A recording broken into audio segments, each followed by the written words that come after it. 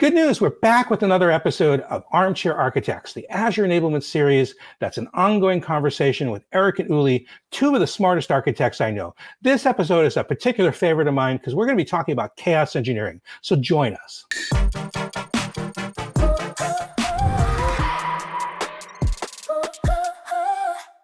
Hey, so welcome back to another episode of Armchair Architects as part of the Azure Enablement Show. Um, this is the the the the episode you've been looking forward to about chaos engineering. I know you might have been looking forward in the previous one, but um, this is where we're going to get into that stuff. And um, uh, my guests, Uli and Eric, know that I have opinions on this topic as well. Um, and I think this is going to be a really fun uh, a, a video because I want to get into it. There's there's there's a question I'm dying to ask them, and, and I'm looking forward to asking them as part of that. But I think before we have to before we do that, because I feel even though in the operation space and in my space chaos engineering has been around for a while. I'm getting the sense that it hasn't been in, in the, the, the gestalt uh, of, of, of our realm nearly as longer, nearly as long. Um, so um, how would either or both of you define what chaos engineering is? Let's just get that onto the table, and then we're then we can argue about it or not. Um, raise your hand. Go first. I want to hear it. No, Eric. Eric has strong opinions about this one. I do, so but it's more it's more along the lines of what architects tend to do in terms of you know putting a solution into production. But to me, and I don't know if this is uh, you know uh, literarily correct or, or not, but the way I think about chaos engineering is that it's a practice uh, that's part and parcel of application development, in which you try to excise uncertainty about specific failure conditions that might happen with the system or its components. So today, what I notice a lot of architects do is that they guess what's going to happen if there's a failure condition. And in many instances, uh, they don't even like to think about it. I know I didn't. Um, when I'm designing this beautiful, elegant solution, the last thing you want to think about is what happens if somebody just goes and kicks over a rack or unplugs something, or somebody doesn't update a cert. How is your application going to respond? But in today's world, we need to think about these things, and we shouldn't be guessing about it. And to me, the practices of chaos engineering help us to excise guessing and achieve certainty about what failure looks like in our applications and in our architecture. Okay. Yeah, I would I would go a step further. We've always had the need for chaos engineering in the sense of always expect the unexpected is really the mantra that chaos engineering is putting to the forefront. And I look at this as most people have been saying this will never happen until it does. And the cloud, because you have two independent life cycles. You have the cloud life cycle, the services that move forward and bring new capability all the time. And you have the your own application or system life cycle, which of course moves on as well. And sometimes these two life cycles clash where uh, incompatibilities that either you introduce or the service introduces um, make your uh, application not work anymore. And therefore, in the cloud, it becomes more important than on-prem, where you have more control over the entire life cycle. Mm-hmm. But I would argue on-premise it has been also really important because you just don't know what you don't know. And introducing failure, which is really what chaos into, uh, uh, engineering does, into your system in a way that you might or might not have expected, and then see what happens, is really a great art form, and it's great, certainly good practice to do that. The most extreme form is to do that in production. Right. Um, I would say 99.9% of the people I work with, the customers and partners, are not ready for that level of chaos engineering. But introducing it in the uh, development and test cycle, maybe in the canary, where you have very limited impact, is um, a great starting point for doing that. And maybe, Eric, you can share a little bit what chaos engineering really is in terms of introducing failure. What does that mean? Yeah, to me, it's it's the opportunity for us as architects to not guess, to actually acquire knowledge uh, before failures happens about what failure actually looks like. So, to me, a principal, um, you know, a component of fault, of chaos engineering is fault injection as part of the application development process. Uh, and so, you know, w- fault injection is something that I think everybody has kind of heard of, but we don't really know, you know, what it really means, let alone included as part of our app development process. To me, I think about it relatively simply. Um, suspend services, suspend components, pull out the network arch- infrastructure, turn off the, the, the integration between your components, and see what happens. But it's also a mindset that you actually have to embrace. Uh, as this happens, how gracefully do your components, starting with the user experience all the way down to the data layer or storage layer, how do they handle a failure? And is that failure that they had that the way that they handled it okay, or can it be optimized? Uh, and then once you establish that baseline of failure, um, fix your components, CI/CD re- redeploy them, whether it's in a canary or whether it's in a testing environment. Do the same uh, types of failure again and see how much better you got, and compare that to your baseline. But at each step of the way, my advice is embrace the failure uh, and it, again, it's like smashing your beautiful glass house with a hammer, but you're going to need to do that so that you don't have this obscurity around what's going to happen in production if my systems fail. Yeah, I mean, I think of this stuff also as, as you know, it, it's like they're you're running scientific method like experiments. We have a hypothesis, and you have stuff you want to test, and you want to see what happens if you if you test these hypotheses. So I, I don't like the hitting the glass house with a hammer one because you know it's going to break. So like chaos testing is not like what if I turn off my database, the app will fall over. We all know that. That's not chaos testing from from my perspective. But I really like the idea of trying to push the un, trying to understand the unknown. What happens if I apply C CPU pressure? Or what happens if I apply memory pressure? What happens when we run out of disk space? Or uh, another fun one that, that can be done is, um, what if I set the clocks ahead by two hours? Or what if I, what if I daylight savings time happens? You know, like which is which is our own little chaos testing that happens. And I, I, think the the thing that's I, I, get it that most people don't run in production really, but I've heard statements saying like if you don't chaos engine chaos test your system in production, the internet will for you. Um, and uh, and do you do you agree with that statement? I agree with the sentiment. Okay. Um, again, a lot of systems are not internet facing um, that uh, yeah. we see running on the cloud, and therefore it is less applicable, although it's still applicable. I, I agree that if you are a mature organization, you should do chaos chaos testing in production. That's great, but most companies don't feel that they are mature enough to do that yet. Um, and again, the list of failures you introduced are all fun ones, all good. Uh, the network is always a good one, increasing latency, reducing uh, throughput, uh, those kind of things. Um, having services disappear and reappear. Uh, sometimes reappearing is more dangerous than disappearing uh, right. because people f- uh, plan for the failure of disappearance, but they don't plan for the, oh, the thing is back up. What do I do now? Um, and stuff like that. So I think chaos engineering is a great way of introducing failure and failure modes, which we talked about in season one quite a right. lot, right? Um, as part of reliability engineering, uh, to really go and saying, did I really understand the failures that could happen? Can I deal with them?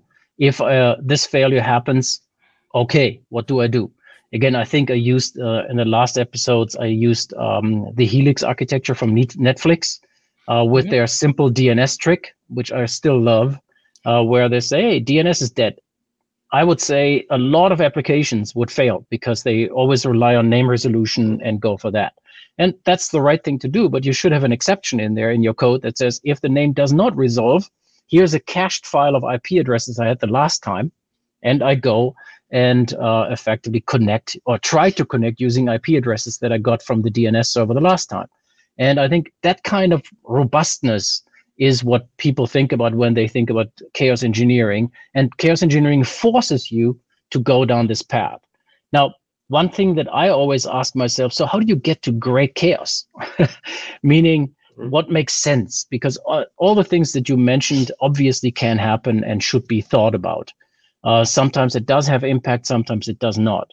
The other piece that I always think is uh, have an incident database mm. what happened to either because your cloud provider had incidents, so test for those, or uh, you had incidents, make sure that they are part of your chaos repertoire uh, so that you can always introduce failures you have seen before. There will be t- failures you have never seen before. And um, despite people's imagination, uh, there will always be new things that happen because life is just tough.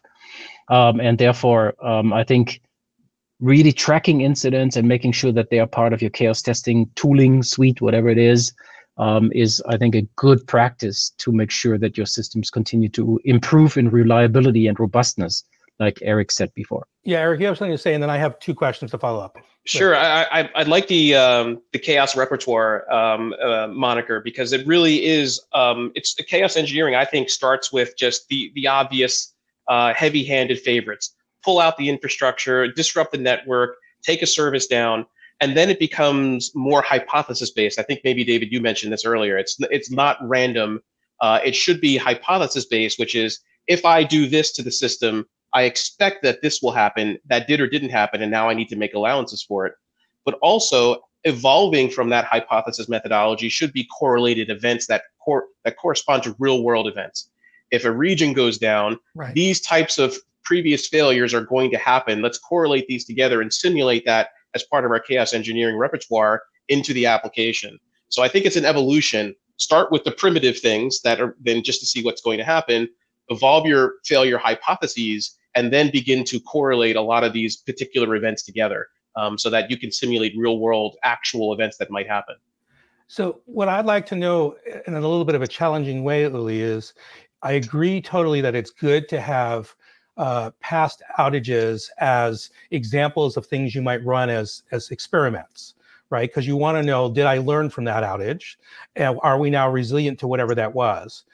At the point in which you've put in the stuff to deal with that is that still chaos testing or is that just like unit or, or, or some other kind of testing if i'm if i'm testing is that are we still in chaos land or is that just like another one of your sets as part of your regular test suite it is fair that you could argue that this is a unit test but chaos testing is not only about the things you test uh-huh. you also when you test them um, because if you think about it if i throw in an error at uh, 2 a.m in the morning the dev team is not there Right. It is running in production, let's say in Canary with reduced SLA, but it's still an SLA. Right. Now all of a sudden the operations team has to deal with it. Can they deal with it instead of just the people that actually can uh, piece put a piece of new code in, uh, patch it or whatever they need to do and go from there. So for me, chaos testing is also about timing when you throw it in. When you do a unit test, everybody know it's a unit test. Right. That's a great practice to do, and everybody should do it. It's part of our shift left quality uh, move that I think um, we have talked about before. But for me, throwing the error in when it's least expected is also part of chaos testing. And then see can the operations team team deal with the problem instead of just the dev team. And I think that's another level of robustness that you could should acquire as part of uh, adopting a chaos engineering methodology. So I have I have a remaining question, unless Eric, you had another response that I wanted yeah, to ask as a way. I was just going to say it, and I don't know if I, but I'll plug it again if I already said it. It should be part of the fabric of how you develop an app. Fault injection is part of testing and app development. Is part of um, you know enfolding chaos engineering into the creation and deployment of your application. So I just wanted to kind of say, like Uli said, it's not it's not how often you do it, although it should be frequent, but it's also when you do it uh, just to determine whether or not your ops team can handle it. it. You shouldn't be. You should also. You always practice a fire drill, and it shouldn't be the first time. Uh, it it actually you actually need the fire extinguisher. You don't know where it is, metaphorically.